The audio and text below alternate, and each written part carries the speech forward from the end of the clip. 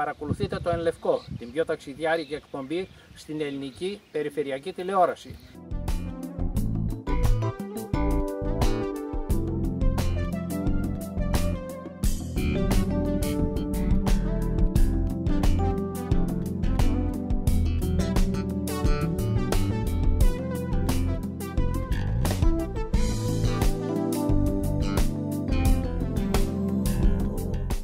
Χωνευτήρι λαών και πολιτισμών για 3.000 χρόνια, η Τινησία σε κρατά σε εγρήγορση με καθημερινές εκπλήξεις. Τη μια σου φανερώνει ψαροχώρια που θυμίζουν κυκλάδες, μοντέρνα παραθαλάσσια θέρετρα και ανατολίτικα σούκ. Την άλλη σε ξελογιάζει με θαυμαστές οάσεις που ξεφυτρώνουν στην έρημο.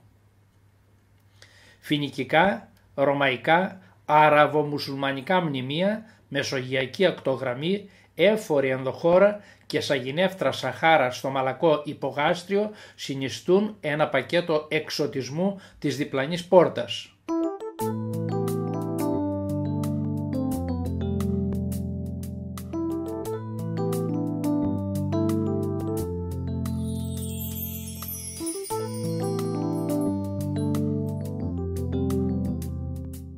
Φίλες και φίλοι, σήμερα θα ταξιδέψουμε σε μια περιοχή που μοιάζει να ξεπήδησε από παραμύθι. Είναι ίσως η πλέον τουριστική περιοχή της Βόρειας Αφρικής και γοητεύει τον επισκέπτη με τις περίσχες ομορφιές που συναντά σε κάθε γωνιά της. Ο πληθυσμός της Τινησίας ξεπερνάει τα 9 εκατομμύρια. Περίπου το 98% των κατοίκων είναι μουσουλμάνοι. Επίσημη γλώσσα είναι τα αραβικά, όμως αρκετοί μιλούν έστω και λίγα γαλλικά. Βρισκόμαστε στην Τίνιδα, στο Μουσείο Μπαρντό, ένα από τα πιο διάσημα της Αφρικής στο είδος Το Εθνικό Μουσείο Μπαρντό ιδρύθηκε το 1882. Φημίζεται για τα αξιόλογα ιστορικά εκθέματα των διαφόρων εποχών και πολιτισμών, ειδικά για την εντυπωσιακή και μοναδική στον κόσμο συλλογή μοσαϊκών. Περιέχει έξι διαφορετικά τμήματα που περιγράφουν τις πιο σημαντικότερες περιόδους της ιστορίας της Τινησίας. Προϊστορικό, φινικικό, ρωμαϊκό, χριστιανικό, άραβο-μουσουλμανικό και αντικείμενα ελληνικής τέχνης. Στα εντυπωσιακά εκθέματα περιλαμβάνεται ένα ψηφιδωτό του 3ου αιώνα με τον ποιητή Βυργίλιο να γράφει την Ενιάδα ενώ του παραστέκονται δύο μουσες. Στα καλύτερα αξιοθέατα του μουσείου είναι το ψηφιδωτό του Οδυσσέα και των συντρόφων του, που αντιστέκονται στο τραγούδι των Σιρήνων, οι οποίες προσπαθούν να παρασύρουν το πλοίο τους στα βράχια. Αυτό που είναι εντυπωσιακό στο συγκεκριμένο μοσαϊκό είναι το εξής: Ότι οι σύντροφοι του Οδυσσέα κοιτάνε προς μια πολύ συγκεκριμένη κατεύθυνση. Ο Οδυσσέας, ο οποίος έχει κλείσει τα αυτιά του για να μην ακούει τις ειρήνε, κοιτάει προς την εντελώς αντίθετη κατεύθυνση. Αυτό είναι πραγματικά εντυπωσιακό στο μοσαϊκό αυτό. Αυτή είναι η νέα πτέρυγα του μουσείου. Το μουσείο πρωτοξεκίνησε τη λειτουργία του σε παλαιότερο κτίριο το οποίο είναι ακριβώς δίπλα το 1881, αλλά μετά έγινε παλάτι ε, και ουσιαστικά α, τα εκθέματα αργότερα μεταφέρθηκαν εδώ.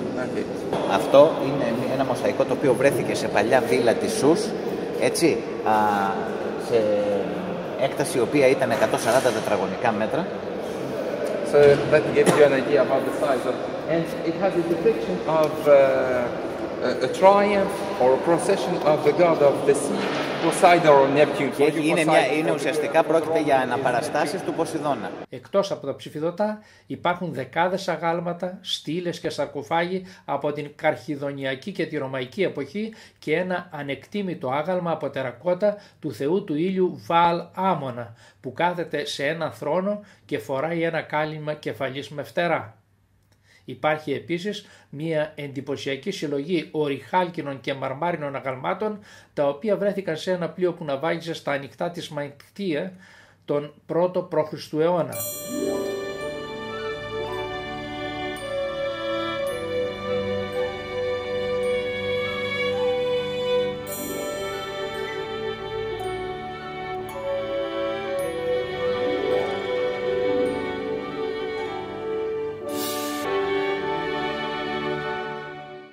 Μεντίνα στην Τινησία είναι η παλιά μεσαιωνική πόλη, οχυρωμένη πίσω από τείχη, πύργους και επάλξεις. Μέσα στον λαβύρινθο των στενών δρόμων της κυκλοφορεί με τα πόδια η ατμόσφαιρα της Ανατολής. ένα απέραντο παζάρι με κάθε λογής πραμάτιες δίνει απίστευτη ζωντάνια στην ατμόσφαιρα των περασμένων καιρών καθώς η ευωδιά των μπαχαρικών πλανάται παντού. Και μόνο γι' αυτό ολόκληρες οι μεντίνες είναι σπουδαίες, ορισμένες χαρακτηρισμένες από την, από την UNESCO Μνημεία Παγκόσμιας Πολιτιστικής Κληρονομιάς, αλλά κλείνουν μέσα τους και ξεχωριστά μνημεία. Το Ενλευκό, η πιο ταξιδιάρικη εκπομπή στην ελληνική περιφερειακή τηλεόραση, σήμερα βρίσκεται στην ιστορική Καρχιδόνα. Η Καρχιδόνα ιδρύθηκε τον 1ο π.Χ. αιώνα από απίκους της Τύρου που κατοικούσαν στο σημερινό Λίβανο, οι οποίοι έφεραν μαζί τον πολιτισμό και τη θρησκεία των Φινίκων και των Χανααναίων. Ο θρύλος αναφέρει ότι η πόλη ιδρύθηκε από τη βασίλισσα Διδό, όπως γράφει και η Ενιάδα του Βυργίλιου.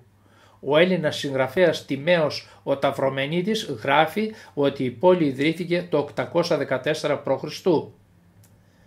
Κατά τη διάρκεια μιας σειράς πολέμων με τη Ρώμη, μια καρχιδονιακή εισβολή με αρχηγό τον Ανίβα κατά τη διάρκεια του πρώτου καρχιδονιακού πολέμου παραλίγο να αποτρέψει την άνοδο της Ρωμαϊκής Αυτοκρατορίας. Η Καρχιδόνα τελικά κατακτήθηκε από τη Ρώμη το 2ο αιώνα π.Χ. μια κρίσιμη καμπή που σήμαινε το πέρασμα του πολιτισμού της αρχαίας Μεσογείου στο σύγχρονο κόσμο μέσω της Ευρώπης αντί της Αφρικής. Η Καρχιδόνα υπήρξε μια ιστορική ναυτική δύναμη στη Δυτική Μεσόγειο. Για την επέκτασή της κήρυξε τρεις πολέμους έναντι της Ρωμαϊκής Αυτοκρατορίας που διήρκεσαν έναν αιώνα και κατέληξαν με την τελειωτική πτώση της το 146 π.Χ. και με τέτοιο μίσος που την κάψανε ολοκληρωτικά. Τον 2ο αιώνα π.Χ. επί Ρωμαϊκής εποχής χτίστηκαν οι θέρμες του Αντωνίνου και το θέρετρο του Αδριανού στο οποίο διοργανώνεται κάθε χρόνο Διεθνές Φεστιβάλ Μουσικής. Εδώ το 1884 χτίστηκε ο καθεδρικός ναός του Λουδοβίκου του Ενάτου που πέθανε από πανούκλα το 1534. Να, εδώ θα δούμε λέει τα λουτρά, σώζεται μόνο το υπόγειο τμήμα ε, γιατί το ισόγειο έχει καταστραφεί εντελώς. Μα μας είπε και την απόσταση μεταξύ της Τίνιδας και της ε, Καρθαγένης γύρω στα 25 χιλιόμετρα ότι οι άνθρωποι από την Τίνιδα έρχονταν εδώ πέρα ακριβώς για να χρησιμοποιήσουν τα συγκεκριμένα λουτρά.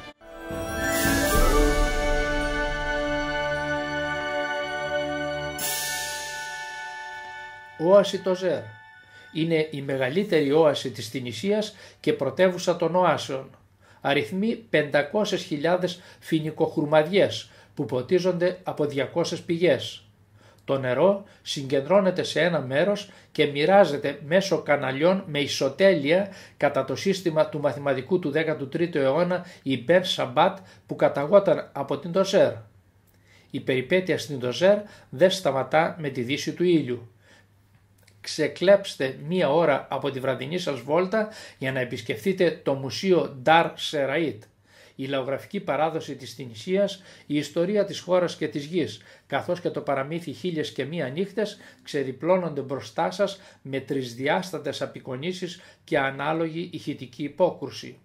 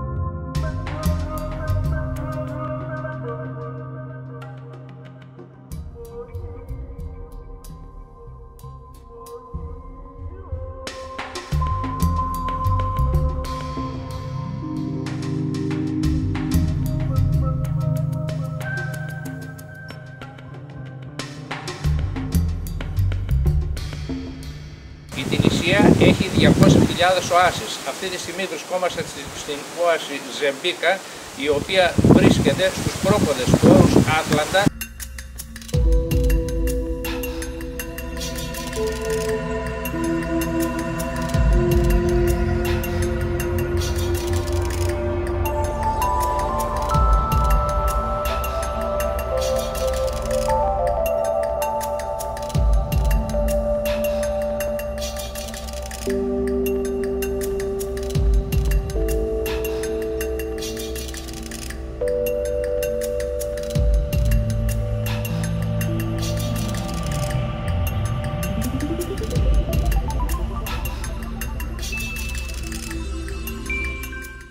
Η αληθινή την Ισία βρίσκεται στο νότο και σας περιμένει για να σας αποπλανήσει με τις μαγευτικές οάσεις της, την απέραντη χρυσοκίτρινη αμοθάλασσα, τα λιγερόκορμα φινικόδαντρα, τους παραδοσιακούς βερβέρικους οικισμούς και τους φιλόξενους νομάδες της, στα πρόσωπα των οποίων καθρεφτίζεται όλη η σοφία και η απλότητα της ερήμου. Έχοντας αφήσει αρκετά πίσω μας τα τελευταία ίχνη πολιτισμού, περπατάμε πάνω στο βελούδινο πέπλο της ερήμου. Εδώ, μέσα στην απεραντοσύνη της άμμου, βρίσκεσαι μόνο εσύ και ο Θεός. Περιπλανήσου όπως η άμμος της ερήμου, γιατί μόνο τότε θα είσαι πραγματικά ελεύθερος να φτάσεις εκεί που θέλεις, λέει ένα παλιό αραβικό ρητό. Ταξιδέψτε μαζί μας, ονειροπολίστε μέσα από τις εικόνες μας, γνωρίστε την απρόσμενη ομορφιά του πλανήτη μας. Ο κόσμος είναι πολύ όμορφος για να τον αγνοούμε. Γι' αυτό καθίστε στο πιο αναπαυτικό σημείο του δικού σας χώρου και εμείς με ξεναγώ την κάμερα της εκπομπής μας θα σας ταξιδέψουμε εκεί που δεν πάει ο νους σας. Εν λευκό, η εκπομπή που κάνει τη γη να φαίνεται μικρή. Οι Άραβες έχουν περισσότερες από 100 διαφορετικές λέξεις για να περιγράψουν μια καμήλα. Συνηθισμένο θέαμα στο νότιο μισό της χώρας, το ονομαζόμενο πλοίο της ερήμου είναι ένα καταπληκτικό ζώο το οποίο μπορεί να επιζήσει για μήνες χωρίς νερό και όταν επιτέλους του δοθεί η ευκαιρία να πιει μπορεί να καταναλώσει μέχρι και 130 λίτρα. Από την Τοζέρ κατευθυνόμαστε στα βόρεια της Τινησίας. Επόμενος σταθμός μας είναι η πόλη Σούς, ένα διάσημο τουριστικό θέρετρο της χώρας. Παλαιότερα η Σούς ήταν απλώς ένας προορισμός για ημερήσιες εκδρομές. Σήμερα είναι ένα αυτόνομο πολύβουο κέντρο διακοπών ατμοσφαιρικό γεμάτο ιστορικές μνήμες. Ιδρύθηκε σαν λιμάνι και εμπορικό κέντρο τον 9ο αιώνα π.Χ. πριν και από την Καρχιδόνα, από τους Φίνικες. Έγινε πρωτεύουσα της Ρωμαϊκής επαρχίας στις αρχές του 3ου αιώνα π.Χ. με την ονομασία Χαντρομέτ και εξελίχθηκε σε σημαντικό κέντρο χριστιανισμού από τον 4ο αιώνα και μετά. Πήρε το σημερινό της όνομα με τον ερχομό των Αράβων και από τότε χτίστηκαν τα διάφορα μνημεία της όπως το φρούριο, το μεγάλο τζαμί, τα οχυρώματα της πόλης κλπ. Δέχτηκε πολλές επιθέσεις από Νορμανδούς, Ισπανούς, Τούρκους, Γάλλους και τελικά από τους συμμάχους το 1943.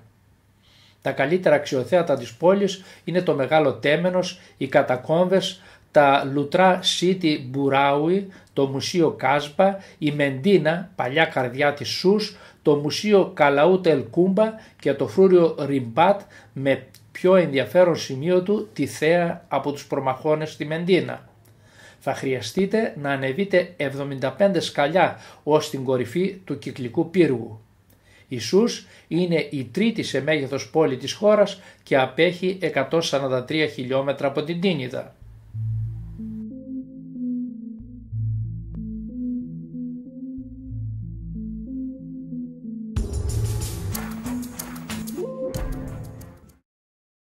Το αφιθέατρο του El Gem, 70 χιλιόμετρα νότια από τη Σούς, είναι ένα από τα μεγαλοπρεπέστερα κληροδοτήματα της Ρωμαϊκής Αυτοκρατορίας στην Τινησία. Είναι ελαφρώς μικρότερο από το Κολοσσέο της Ρώμης, όμως διατηρείται σε καλύτερη κατάσταση και είναι επιβλητικότερο. Χωρούσε περισσότερους από 30.000 θεατές, έχοντας μήκος 149 μέτρα και πλάτος 124 μέτρα. Στο Αρχαιολογικό Μουσείο του Ελτζέμ εκτίθενται μερικά ωραία ψηφιδωτά του 3ου αιώνα. Το Καϊρουάν, 70 χιλιόμετρα δυτικά της Σούς, είναι η ιερότερη πόλη της Τινησίας με περισσότερα από 50 τεμένη μέσα στη Μεντίνα. Θεωρείται τέταρτη ιερότερη πόλη του Ισλαμικού κόσμου μετά τη Μέκα, τη Μεδίνα και την Ιερουσαλήμ. Το κυριότερο αξιοθέατο είναι το μεγάλο τέμενος Σίντι Όκμπα που κατασκευάστηκε από τους Αγγλαβίδες το 863 μετά Χριστόν. Μέσα από τις 17 βαριές πόρτες από κέντρο οι επισκέπτες μπορούν να ρίξουν μια ματιά σε έναν από τους παλαιότερους άμβονες στον κόσμο ο οποίος κοσμείται από 250 ξυλόγλυπτα. Η Χαμαμέτ Πουπέτ κατά τη ρωμαϊκή της ονομασία είναι η πιο όμορφη παραθαλάσσια περιοχή. Ιδρύθηκε από τους Άραβες τον 10ο αιώνα και καταλήφθηκε από τους Ισπανούς και Τούρκους. έγινε ευρύτερα γνωστή κατά τη δεκαετία του 30 και αποτέλεσε σημείο συνάντησης καλλιτεχνών και μελών της υψηλής κοινωνίας. Θεωρείται το σημαντικότερο και πιο αναπτυγμένο τουριστικό θέατρο της Τινησίας. Απέχει 60 χιλιόμετρα από την Τίνιδα και κυριότερο αξιοθέατο της πόλης είναι το Φρούριο που προσφέρει θαυμάσια θέα στους λευκούς τρούλους και στις στέγες της Μεντίνα καθώς και στη γύρω ακτογραμμή.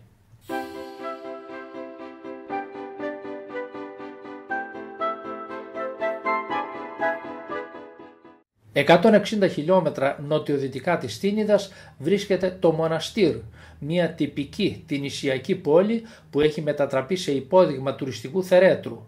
Το ριμπάτ της πόλης χρησιμοποιήθηκε ως σκηνικό σε πολλές ταινίες όπως ο Ιησούς από την Ναζαρέτ. Το Port El Καντάουι, 134 χιλιόμετρα νότια της Τίνιδας, προσελκύει πολυτελή σκάφη από όλο τον κόσμο, καθώς αποτελεί το πιο αξιοσημείωτο οργανωμένο τουριστικό κέντρο της Τινησίας.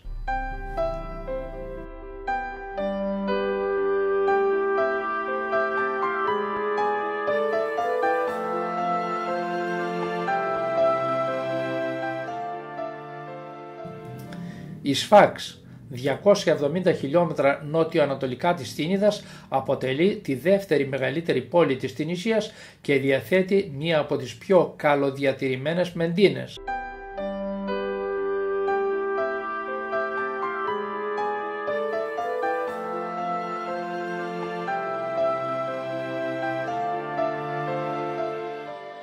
Ένα από τα γνωστότερα χωριά της Τινησίας, γνωστό από τις σκηνές της ταινίας «Ο πόλεμος των άστρων» είναι η Ματμάτα με τις τρογλωδυτικές κατοικίες. Πολλά από τα υπόγεια σπίτια που ανάγονται στον 4ο αιώνα π.Χ. κατοικούνται και σήμερα. Κάποιες από αυτές τις παραδοσιακές κατοικίες έχουν μετατραπεί σε ξενοδοχεία.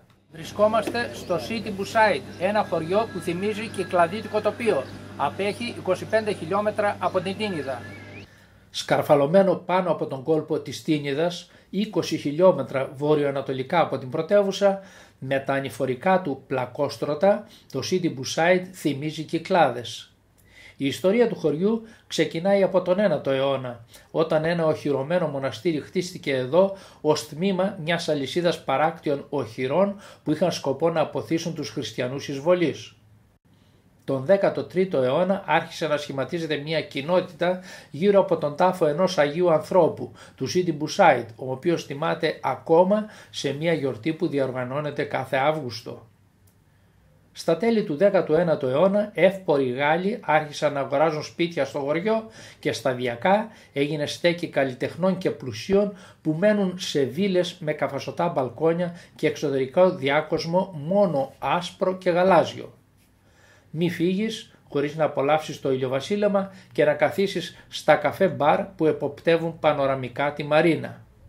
Ένα από τα δέκα καλύτερα αξιοθέατα της Τινησίας είναι οι ρωμαϊκές αρχαιότητες της Ντούγκα 110 χιλιόμετρα νοτιοδυτικά της Τινησίας. Η πόλη τον 2ο π.Χ. αιώνα ήταν έδρα του Νουμίδη βασιλιά Μασινίσα Όσοι έχουν πάθος με την αρχαιολογία θα διαπιστώσουν όπου ότι αξίζει να αφιερώσουν στην Τούγκα μία ολόκληρη μέρα. Το σπουδαιότερο αξιοθέατο της πόλης είναι το καλοδιατηρημένο Καπιτόλιο που χτίστηκε το 166 μετά Χριστόν και αφιερώθηκε στο Δία, την Ήρα και την Αθηνά. Η κουζίνα στην Τινησία είναι πολύ γευστική αλλά και αρκετά πικάντικη λόγω της χρήσης πολλών μπαχαρικών. Αν δεν είστε εξοικειωμένοι με τις καυτερές γεύσεις, τότε μη γευτείτε τη χαρίσα που είναι μια σάλτσα φτιαγμένη από μικρή κόκκινη πολτοποιημένη πιπεριά που είναι εξαιρετικά νόστιμη αλλά πολύ καυτερή. Τι να ψωνίσετε; Από τις πολύχρωμες αγορές της Τινησίας μπορείτε να αγοράσετε ασημένια χειροποίητα κοσμήματα, παραδοσιακές μαντήλες και λεμπίες κρυσταλλικά πετρώματα με κυριότερο το ρόδο της ερήμου, μικρά κομψοτεχνήματα από κόκαλο καμήλας, δερμάτινα, υφαντά, ασημικά, χειροποίητα κυλίμια με βεδουίνικα σχέδια, μάσκες, κεραμικά και χαλιά. Βασικός κανόνας για τις αγορές σας από τα σούκ είναι το παζάρι, που σε αρκετές περιπτώσεις κατεβάζει την τιμή κατά 10 φορές από την αρχική. Μεταξύ των καταστημάτων θα βρείτε παραδοσιακά καφενεία όπου μπορείτε να πιείτε αραβικό καφέ με ροδόνερο, τσάι με αμύγδαλα ή κουκουνάρια και να καπνίσετε ναργιλέ. Αρκετοί πλανόδιοι πολιτές σερβίρουν τσάι με μέντα και παραδοσιακά γλυκά στα όρθια. Το τοπικό νόμισμα είναι το τινησιακό δινάριο, αλλά στην αγορά παντού γίνονται δεκτά τα ευρώ. Πότε να πάτε; Πρόκειται για προορισμό τεσσάρων εποχών. Μόνο το κατά καλό καιρό ίσως ζοριστείτε από την αφόρητη ζέστη. Πάντως, αν τα χιόνια της Βόρειας Ευρώπης δεν σας ταιριάζουν και θέλετε να περάσετε Χριστούγεννα στον ήλιο συλλέγοντας πρωτόγνωρες εμπειρίες, η Τινησία είναι ιδανικός προορισμός.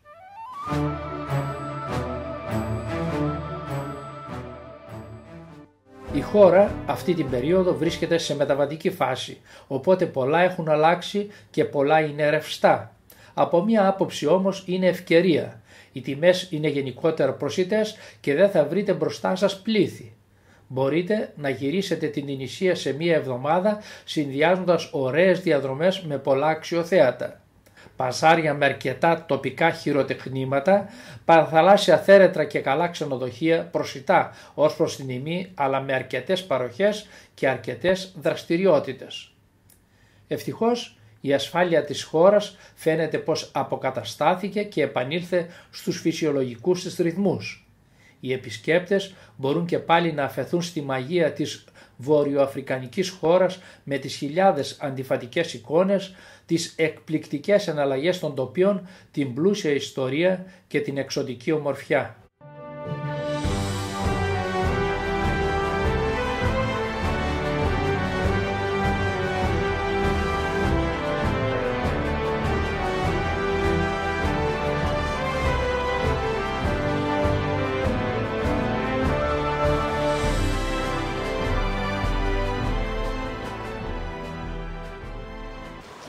Για τους φανατικούς ταξιδιάριδες υπάρχει στο διαδίκτυο το ταξιδιωτικό μας περιοδικό στη διεύθυνση www.elefkotv.com